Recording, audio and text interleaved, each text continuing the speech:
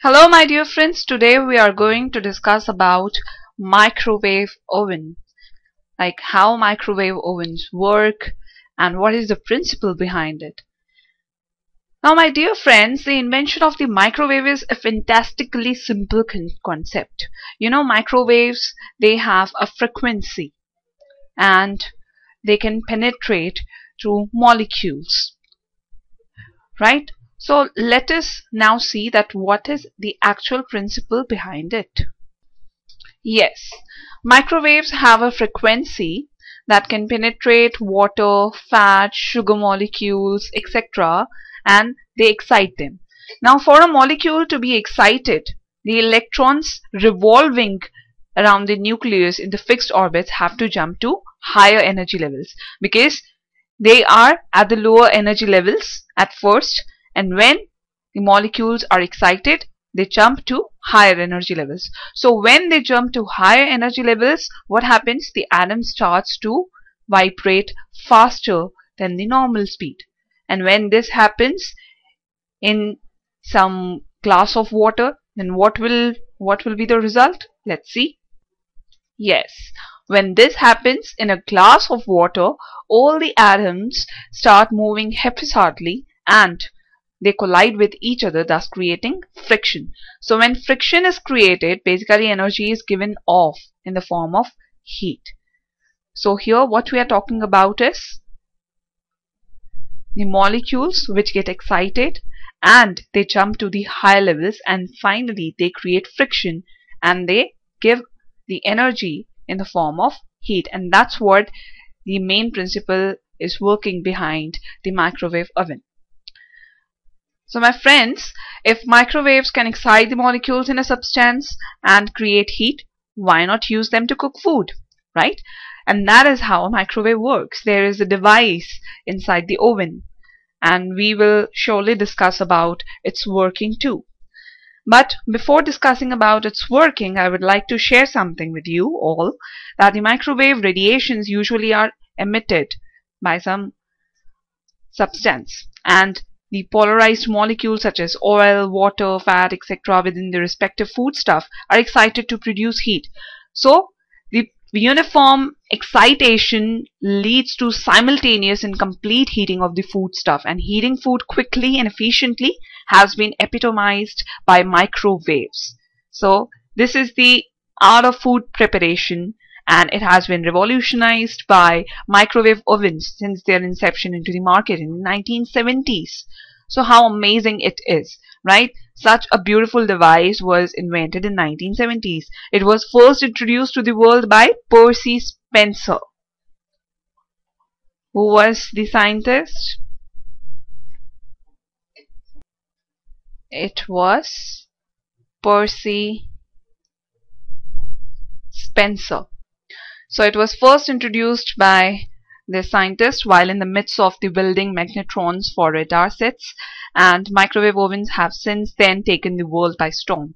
So the microwave oven cooked its first food as popcorn and later came the egg. Now there is a company called Raytheon, the company for which Spencer had been working on with the radar sets and had discovered the microwave phenomenon, filed a patent on 8 October 1945. So how amazing it is. They came out with the first official microwave oven, the Red Arrange. What it was named as was Radarange. Now you might be familiar with this term and if not, not a problem. Right? Because of the thing that the company had been working with the radar sets, it was named as Radarange. Now it was huge consuming almost 3000 watts and weighing almost 340 kg and later on commercial models were introduced that consumed about 1600 watts and they sold for around $2,000 to $3,000. Oh, that is too costly.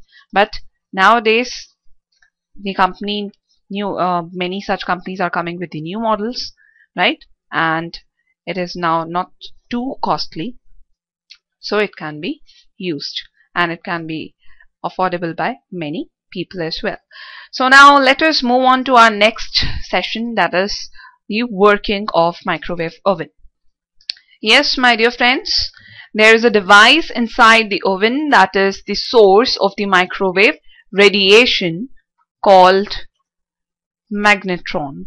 What it is called? Magnetron. So basically the working take place with the help of this radiation called magnetron. Now the waves here then travel to the oven cavity through the waveguide and stirrer.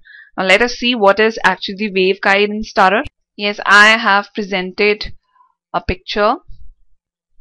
It shows the stirrer and waveguide too. This one.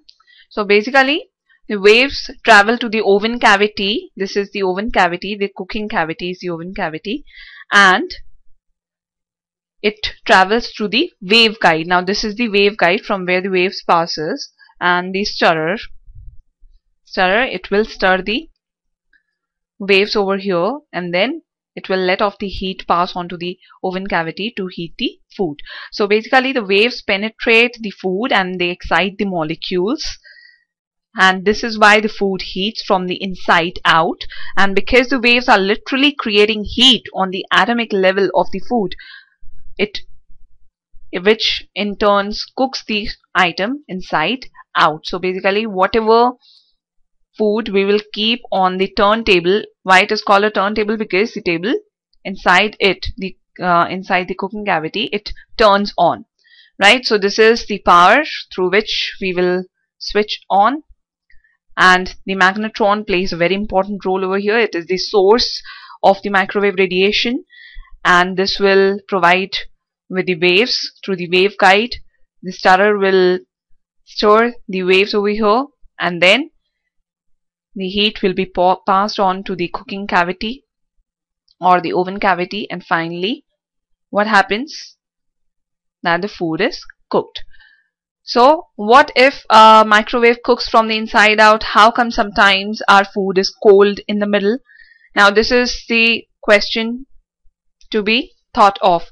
Now this is because when sometimes you heat the food you keep the food inside the oven cavity sometimes there is uh, the food remains cold in the middle. This is because it depends upon the quantity of food we want to heat up now the microwaves cannot penetrate completely to the center for example if we take a bowl, of corn let's say if we heat the corn up to for three minutes but it's still cold in the center. So if we take it out and stir it allowing the cold corn to get on the top the microwaves will be able to penetrate the atoms and excite them and it will create heat. So how come if we warm up a piece of pizza in the microwave for a longer than necessary period of time only some parts of the pizza burn? This is because of the something this is something because of the hotspots. Now what is meant by hotspots? Let us see. Yes my dear friends, what are hotspots?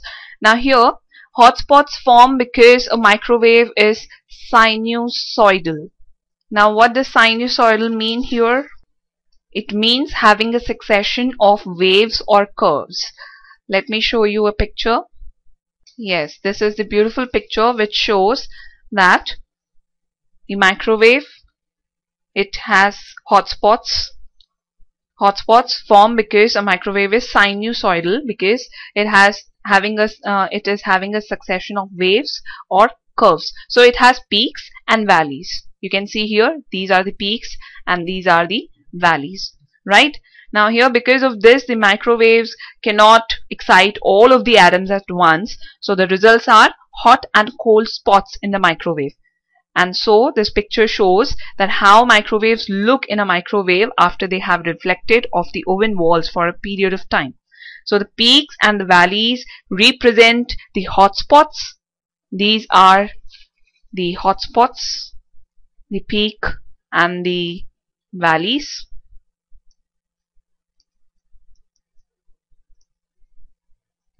Right? And the flat areas these are the flat areas. They represent the cold spots. Right, so this occurs because the peaks and valleys they have a stronger intensity and they excite the atoms more quickly than the flat spots. right? So that was all about the hotspots alright my dear friends that was all about the working of a microwave oven. I hope you enjoyed this session and learned about microwave oven. Right so we'll meet in the next session with a new topic till then enjoy. Have a nice time